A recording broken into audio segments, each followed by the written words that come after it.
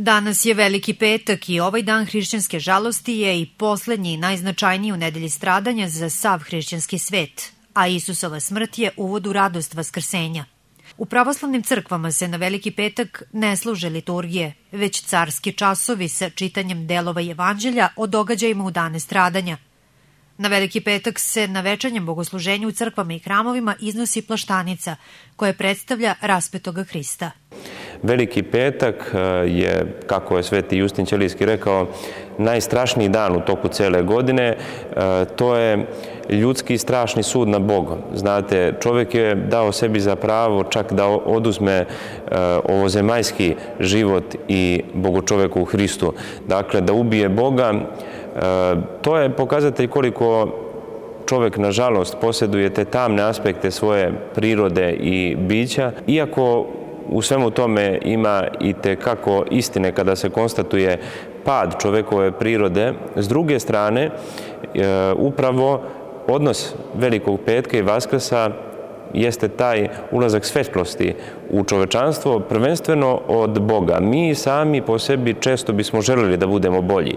Međutim, ponekada nemamo snage, ponekada nemamo dovoljno posticaja od strane okoline i zato nam je neophodna pomoć Božija, jer On je uvek tu da doda ono što sami ne možemo učiniti.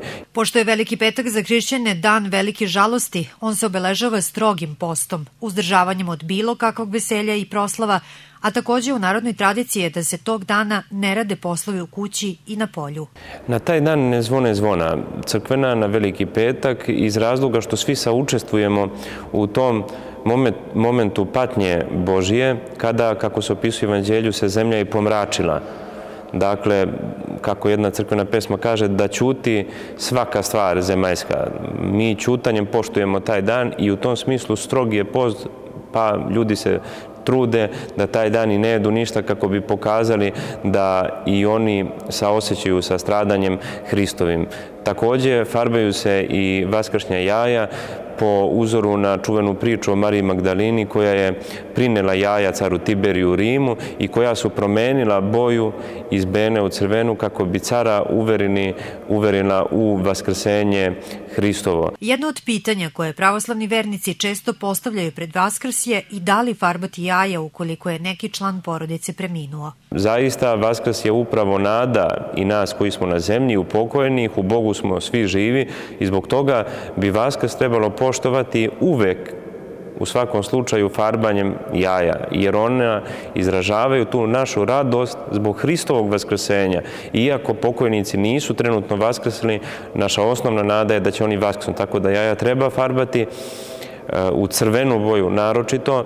Ljudi ukoliko nemaju tada inspiraciju i prosto saosećaju bolu zbog toga što su nekoga izgubili, što on s njima nije tog e, dana fizički da proslavi praznike, e, oni mogu da ostanu na toj crvenoj boji koja će upravo po analogiji na, na izvornu e, boju tog jajeta koja je opisana, u stvari učestvovati u prazniku, naravno u duši i u srcu uvek noseći uspomenu sa molitvom na svoje upokojene. Srpska pravoslavna crkva sutra će obeležiti Veliku subotu. U hramu Svetog Save u Kraljevu sutra u 8 časova biće služena sveta liturgija.